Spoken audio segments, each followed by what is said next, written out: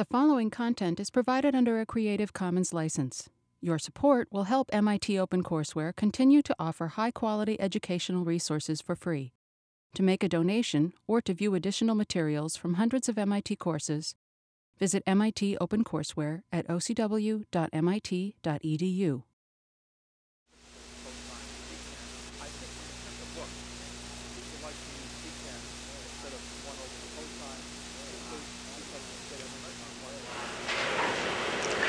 Hi. Our lesson today is called the inverse logarithm. And what it will do, among other things, is give us a very nice chance to revisit inverse functions in general, only now applied specifically to the natural logarithm function that we talked about last time. So I call today's lesson, as I say, inverse logarithms. And to see what's coming up here, simply recall that last time we invented, so to speak, a new function called the natural log of x. This had nothing to do with exponents. It was what? This was the function whose derivative with respect to x was 1 over x and passed through the point 1 comma 0. That uniquely defined this particular function. The point being what? That this particular function, since the domain is for positive x, 1 over x is positive, the curve is always rising, which means that the function itself must be 1 to 1. And because the function is one-to-one, it means that the inverse function exists. This is no different from any other example of forming f inverse given a one-to-one -one function called f. So what we do is now, and remember how you invert this function. If you want to do this thing in slow motion, you first rotate this through 90 degrees, then flip it over. If you want to do it faster, this, the inverse graph of this is the reflection of this curve with respect to the line y equals x. In any event, if we do this, we find that the graph of the function y equals inverse log x is this particular curve. And notice the correspondence. If this is the point 1 comma 0 on the log curve, the inverse point is 0 comma 1. In other words, the inverse log of 0 is 1. Okay. Now, the idea is something like this, just to have a review again of how, see, the punchline I want to make for today's lesson right at the beginning is that the nice thing about studying inverse functions is that once you know the function of which you're taking the inverse, you automatically get all the mileage you want out of the inverse function. Well, by way of illustration, if the function natural log had the usual logarithmic property, we would suspect that its inverse should have the usual exponential property. Now, what is the usual exponential property? The exponential function is characterized by what? That if you take f of x1 plus x2, that's f of x1 times f of x2. See, think of it in terms of the usual exponential notation. If you have, say, 10 raised to the x1 plus x2 power, that's the same as 10 to the x1 power times 10 to the x2 power. In other words, if our ln function is genuinely a logarithmic function, we would expect the inverse of that function to be a genuine exponential function. And just to work with inverses again, let's see if this is indeed true. Let's see if it's really true that the inverse log of x1 plus x2 is the inverse log of x1 times the inverse log of x2. See, the whole idea is what? Let's give these things names. Let y1 be the inverse log of x1 and y2 be the inverse log of x2. Now, since we've already studied the natural log function, the most natural thing to do here is to invert these. Namely, y1 equals the inverse natural log of x1 is the same as saying x1 is the natural log of y1. And similarly, this is the same as saying that x2 is the natural log of y2. And now we add equals to equals, and we get that x1 plus x2 is natural log y1 plus natural log y2. But allegedly, we understand the properties of the natural log. Because if we didn't understand those, it would be kind of futile to be studying the inverse function. What do we know about the natural log? We know that the natural log of y1 times y2, by definition of a logarithmic function, is log y1 plus log y2. In other words, natural log y1 plus natural log y2 by the property of being logarithmic is just the natural log of y1 times y2. And now taking this relationship and inverting it to say this is the same as saying what? The inverse natural log of x1 plus x2 is equal to y1 times y2. And if you now observe that y1 was the inverse natural log of x1 and y2 is the inverse natural log of x2, we have the result that we claimed we would have at the beginning here. Now again, here's one example where it's not the result that I'm not interested in, but am interested in showing again what, what we meant when we said that once we learn a new concept, we can bring to it all of our old knowledge. You see, all of these things come from our basic definition. Well, let's carry on one step further. You see, this was an arithmetic property. Let's see if we can get some calculus properties about the inverse natural log based on our knowledge of the natural log itself. Well, for example, in a course of this type, the most natural thing to do, I guess, is given any function, we would always like to be able to talk about its derivative, provided, of course, the function is differentiable. So, for example, a typical question that one might ask is find dy dx if y is inverse natural log x. Again, this works the same way as it did for the inverse trig functions, for the inverse of everything that we've done so far in this course. We start with this particular relationship and right away translate it into that which we're more familiar with, namely we translate y equals the inverse natural log of x into x equals natural log y. Now you see again, since I know how to differentiate log y with respect to y, the derivative of natural log y with respect to y was by definition 1 over y. From this relationship here, I can find that dx dy is 1 over y. Okay? And knowing that dx dy is 1 over y, using my inverse function general theory that tells me that to find the derivative of y with respect to x, all I have to do is invert the derivative of x with respect to y. I wind up with the fact that dy dx is equal to y itself. In other words, the inverse log x function is characterized by the fact that it's its own derivative. In other words, it's a non-destructible type of function with respect to differentiation. This is a rather powerful property. You see what this thing says? It says that the derivative of y with respect to x is y itself. By the way, just as an aside, we can do the converse of this particular problem. You see, we started with y equals inverse log x and showed that this particular equation was satisfied. Notice that if we start with this particular equation, starting with dy dx equals y, separate the variables, and lo and behold, we wind up with dy over y equals dx. And without carrying out the details, I leave this to you because it is straightforward. Notice that as we look at the left-hand side here, we hopefully will think immediately of the natural logarithm. Namely, what do we want here? The function whose derivative with respect to y is 1 over y. Again, you see what I'm saying is, notice that if we had started with this particular differential equation, we could have shown that a logarithm and hence solving for y explicitly would have led to the inverse logarithm also. But at any rate, notice then that we can find the derivative of the inverse log just by knowing how to find the derivative of the natural log itself, which is as we expect things should be. Again, and this is uh, a notational thing, we do not use the language in general inverse log x. In other words, you know, it's quite conventional to talk about inverse sine x. You may notice that sometimes in the text, sometimes uh, in my lectures, I may have used the word arc sine x. But the general, general, general notation is sine to the minus 1. However, when it comes to the natural logarithm function, the inverse is usually not written as inverse natural log x. It's usually abbreviated and let me say this, by the symbol e to the x. Now the reason I say by the symbol is this. If I wanted to, I can say, look at, if I've never heard of exponents before, let this symbol be an abbreviation for inverse log x. Does inverse log x exist? Yes, I even drew the graph of it at the beginning of this particular lecture.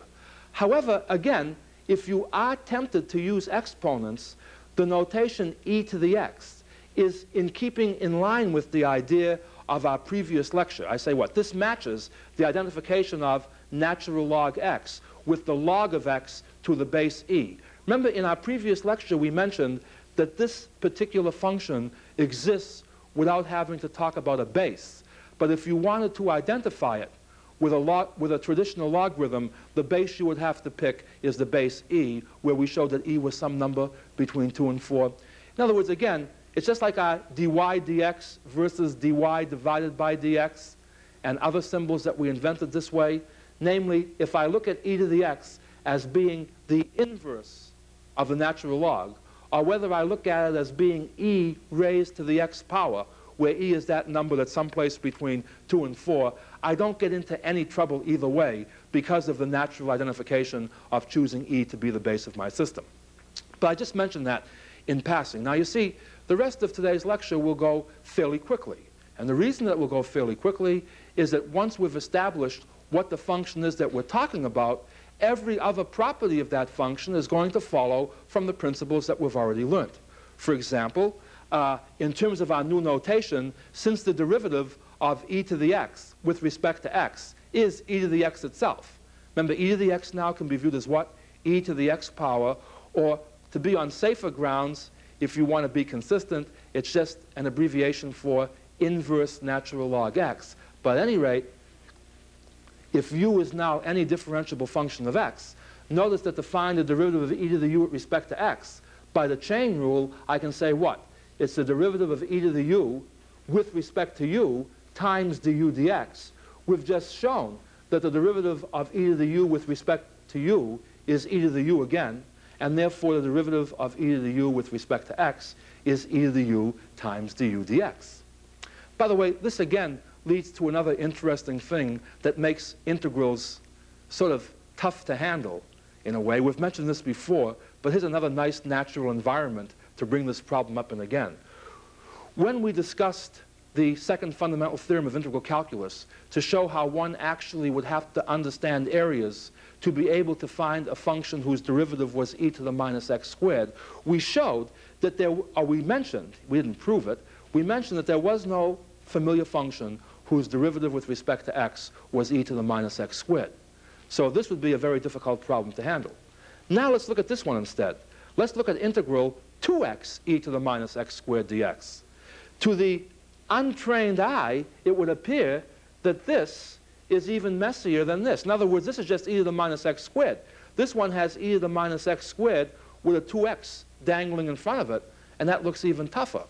But notice that if we look at our exponent minus x squared, the derivative, or the differential of minus x squared is what? It's minus 2x dx. In other words, the 2x dx is precisely what you need to reduce this to the form integral e to the u du. In other words, working this thing out in more specific detail, if I let u equal minus x squared, du becomes minus 2x dx, and therefore, integral 2x e to the minus x squared dx just becomes what? Well, the e to the minus x squared just becomes e to the minus u. And 2x dx is just minus du. Okay? And you see, this substitution, I'm sorry, u is minus x squared. u is minus x squared. So minus x squared is u. So this becomes minus e to the u du. And that, of course, is just minus, see, the minus can come outside. The integral of e to the u with respect to u is just e to the u. And since u is equal to minus x squared, all we're saying is that if you differentiate minus e to the minus x squared, you wind up with what?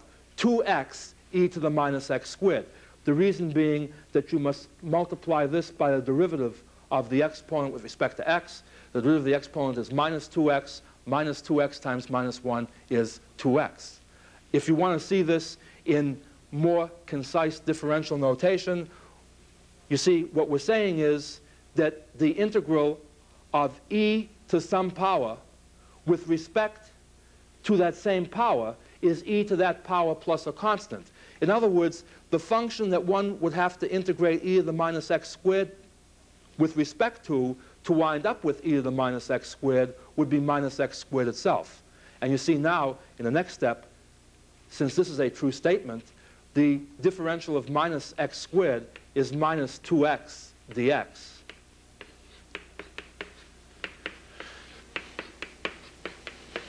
And now you see, factoring out the minus sign and multiplying through by minus 1, we arrive at the same result that we wound up with before. But again, this is the kind of material that we can drill on extensively in the exercises in this particular unit. The technique is what? That the basic building block of the so-called exponential function, the inverse natural log, is that when you differentiate it, you essentially do not destroy it. In other words, the derivative of e to the u with respect to, the, to x is e to the u times du dx. And I thought that in closing today's lesson, I might as well show you a very powerful application of this particular result in a non-obvious situation. And it's something that we call uh, second-order differential equations. I've picked out here a differential equation. Let me just show you what I have in mind over here. Suppose I tell you that y is a twice differentiable function of x that satisfies the following identity, that the second derivative of y with respect to x minus 5 times the first derivative of y with respect to x plus 6 times y is identically 0. And the question is, if this equation is to be obeyed, what must y be? And a very interesting technique for solving this kind of a problem. You see, this is called a second-order differential equation because the highest derivative that appears is the second derivative. Okay? A rather powerful technique using the exponential is available to us for problems of this sort. And the idea hinges on this. As a trial solution, which I'll call y sub t, let's try e to the rx, where r happens to be a constant. You see, the whole idea is if I differentiate e to the rx with respect to x, I get e to the rx back again, only with a factor of r, namely the derivative of my exponent in this case. See, r is a constant. The derivative of rx with respect to x is just r. So notice that the first derivative of y sub t with respect to x is r e to the rx. The second derivative of y sub t with respect to x is what? r is a constant. I differentiate e to the rx. That brings down another factor of r and leaves me with e to the rx. You see, the whole idea being, notice that e to the rx is a common factor of y sub t, y sub t prime, y sub t double prime. If I now substitute these results back into my original equation, look what I wind up with. y double prime becomes r squared e to the rx, minus 5y prime that's minus 5r e to the rx, plus 6y, 6e to the rx, and that must equal 0. And here's the key point. e to the rx is now a com common factor. I factor that out. Okay? If the product of two numbers is zero, one of the factors must be 0. But notice from our graph of the exponential, the inverse logarithm, e to the x, e to the rx can never be negative. Uh, and can never be zero. In fact, e to the rx is always positive. Therefore, if e to the rx is always positive, it must be the other factor, which is 0. But r squared minus 5r plus 6 is not a second-order differential equation. It's a second-degree polynomial equation. It's a familiar quadratic equation, which I can solve quite easily. In other words, I find what? That r must be either 2 or r must equal 3. In other words, my claim is that either e to the 2x or e to the 3x must be a solution of this particular equation. Of course, we can do more with that, which we will uh, in a later part of calculus, not in this package's work, but we're not going to study differential equations uh, in great detail here. But for our present purposes, I think this illustrates how one can use the fact that it's a rather powerful structural property when the derivative of a function with respect to x is the function itself. By the way, as a quick check, notice that if y equals e to the 2x, y prime is twice e to the 2x, y double prime is 4 e to the 2x, and therefore y double prime minus 5y prime plus 6y is what? It's 4 e to the 2x minus 10 e to the 2x plus 6 e to the 2x, and that, in fact, is genuinely identically 0. In a similar way, checking out y equals e to the 3x, we get y prime is 3 e to the 3x, y double prime is 9 e to the 3x. Therefore, 9 e to the 3x minus 15 e to the 3x plus 6 e to the 3x is again identically 0. And again, you see what this powerful technique is. In general, if a and b are constants, the substitution y sub t equals e to the, r, e, e to the rx. And there'll be a problem in the exercises on this to give you additional drill.